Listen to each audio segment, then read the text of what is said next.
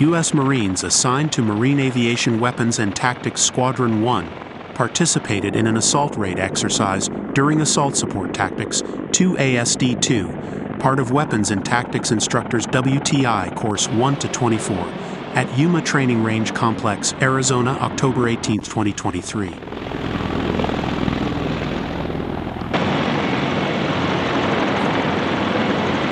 WTI is an advanced graduate level course for selected pilots and enlisted aircrew providing standardized advanced tactical training and assisting in developing and employing aviation weapons and tactics. Wedge!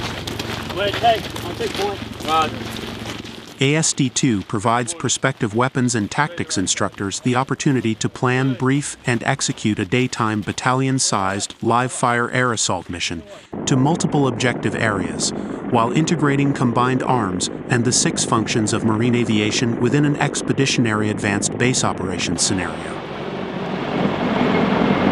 You're receiving heavy effective fire! Heavy effective fire!